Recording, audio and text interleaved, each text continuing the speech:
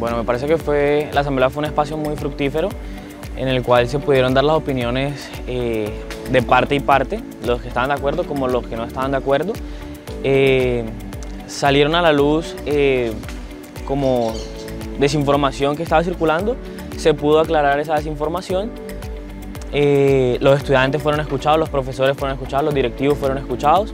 Me parece que cada persona tiene su punto de vista, es válido, pero pues la verdad es solo una. Bueno, me parece que eh, habían unos ánimos caldeados. Debido a esto, pues un tipo de inconvenientes entre estudiantes.